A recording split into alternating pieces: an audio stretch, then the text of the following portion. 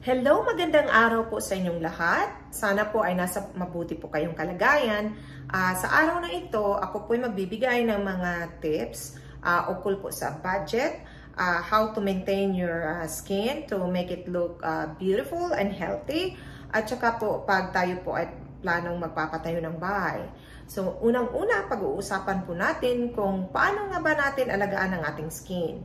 So, marami pong nagtatanong sa akin kung ano po ba daw ang aking sekreto at wala pa po daw wrinkles ang pangmumukha ko, no? Kahit ako ay may apo na.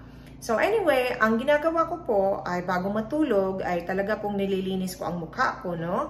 At after that ay nagmo-moisturize po ako. Uh, ginagamit ko po yung uh, Korean skincare kasi po it looks like uh, talagang uh, maganda ang epekto sa aking pagmumukha, no? Uh, as you could see. Uh, sorry nga, medyo shiny nga lang po siya. Pero sorry talaga, sa light siguro po ito. Uh, anyway, ang ginagawa ko po ay after, yun na nga, after ko siya, uh, winawash ko siya, ay nagmo-moisturize ako. And then, sa umaga, ganun din po ginagawa ko bago ako uh, umaalis ng bahay. Obviously, ay naghihilamos po ako, nagmo-moisturize again.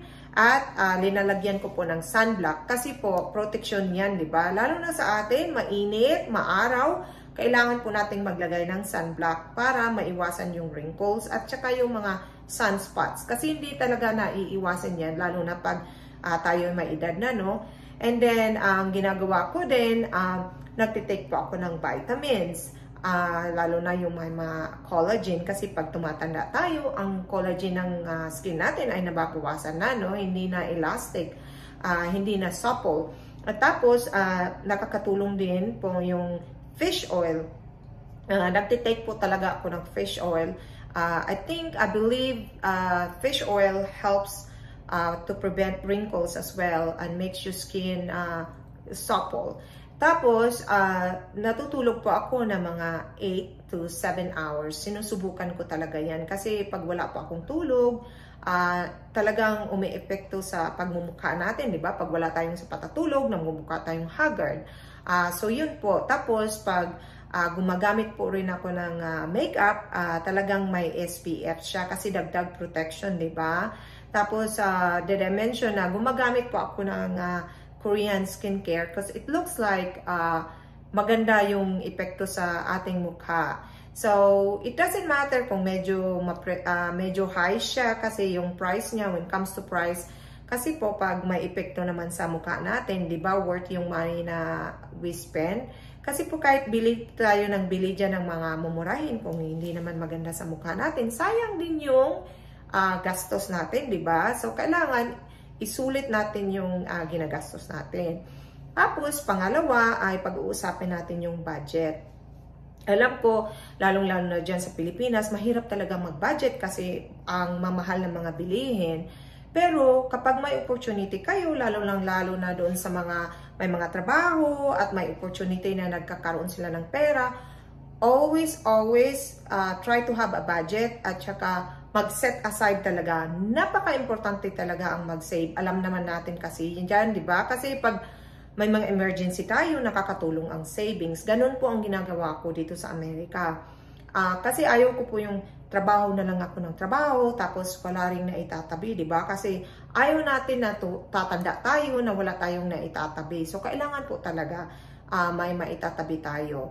Tapos, hindi naman kasi lahat ng panahon eh maganda ang pangatawan natin, di ba? So, paano pag nagkakasakit tayo? Hindi tayo nakakatrabaho.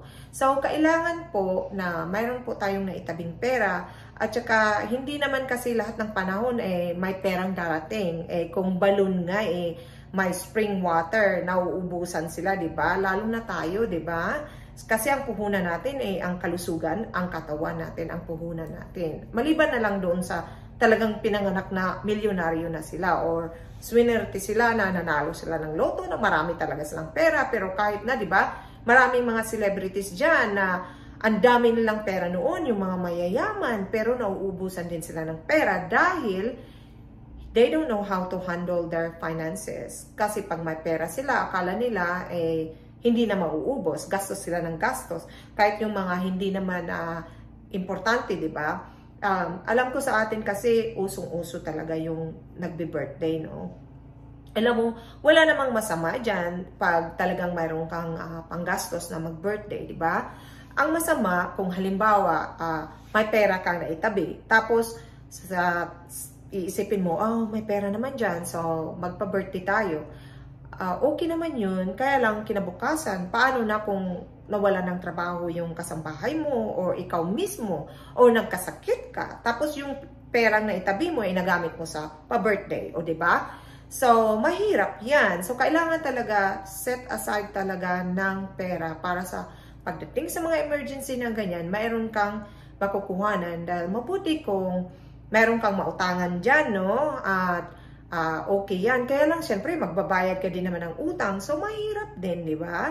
At saka, pag may mga anak ka dyan na maliit, tapos sooner or later, magka-college or mag-high school sila, magastos din, di ba? So, kailangan po talaga importanteng importante po talaga yung mag-iipon po tayo ng pera. Magsiset aside tayo ng pera. Gaya nga sinabi ko dyan, kaya nga ng mga artista, kahit nga dito po sa Amerika, yung mga big Hollywood star, nababankrupt sila dahil uh, they live their life so uh, luxurious. Uh, nauubusan sila ng pera. Pagdating ng uh, panahon na tatanda na sila, syempre wala na silang mga projects, di ba? Ganon din yun po sa inyo. Pag may uh, talagang opportunity po kayo na nagkakapera po kayo, mag-ipon. Uh, sa mga may asawa naman dyan na nag-abroad, ang gagawin nyo po kung paano nyo po uh, palaguin yung pinaghihirapan ng asawa nyo. So alam nyo yung ginagawa nyo eh dapat mag-ipon din po kayo. Uh, hindi basta dahil yung nasa abroad yung mga asawa nyo, mga anak nyo, ay eh, gastos kayo ng gastos. ba diba? Kasi mahirap hanapin ang pera. Alam nyo po yan. So, ang gawin natin, habang ang asawa ay nasa abroad, pinapadalhan po tayo ng pera, kailangan po nating uh, mag, mag uh, no? At uh, kung matuto po kayong magnegosyo dyan, para naman po, hindi habang buhay nasa abroad yung asawa nyo, mga anak nyo, at uh, kayo mismo, ba? Kasi uh, like I said, tatanda tayo, ang puhunan natin ay ating mga katawan, ang ating health. So maigi po 'yon na napalago natin ang uh, you know, pera natin. Uh, shout out doon sa mga marunong pong mag-ipon at uh, marunong magnegosyo. Kasi talagang uh, maganda yan, maganda yan sa buhay para naman kung anong gusto nating bilhin, eh nabibili uh, minsan pag may pera tayo, no, tapos gusto natin gastusin kaagad kasi may gusto tayong bilhin, bilhin kaagad.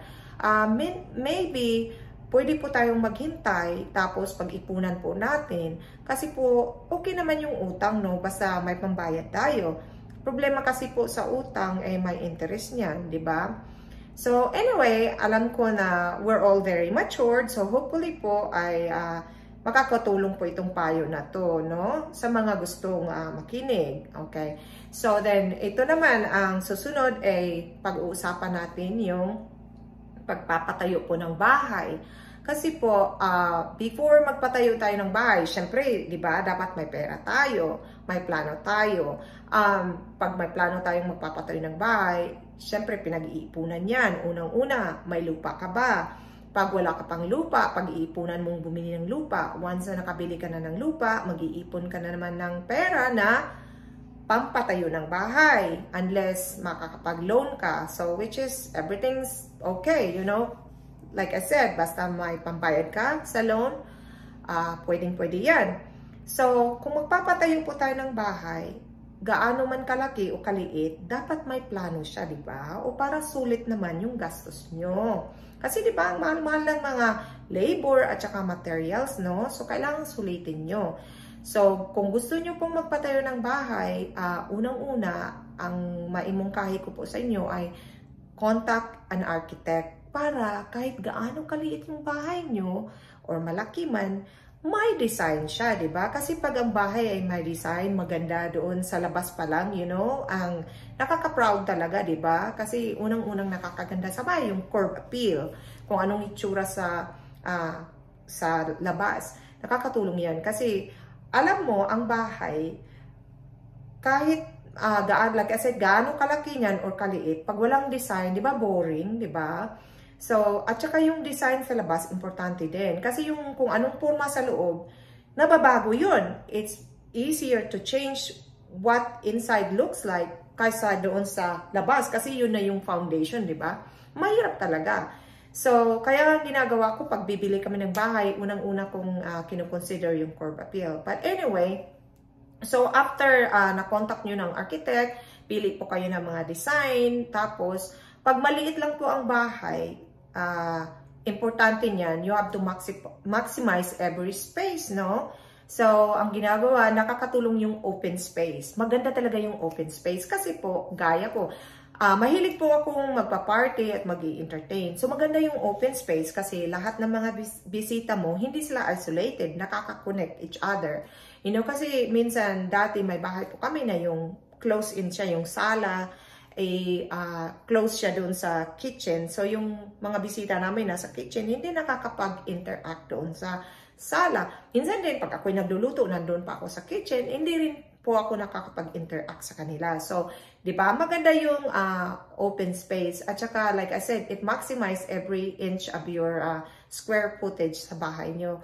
Uh, sa mga nakakaalam dyan, uh, yung uh, open space, eh, ang sinasabi ko dyan, eh, uh, nandun na yung sala mo, tapos nandun yung dining area, tapos kitchen, o di ba? Maganda yan kasi ika nga eh, lahat ng mga bisita mo, pati ikaw ay nakakapag-interact po kayo. So anyway, hopefully ang video na ito ay nakakatulong po sa inyo at uh, huwag kalimutang mag-like at mag-subscribe sa aking channel.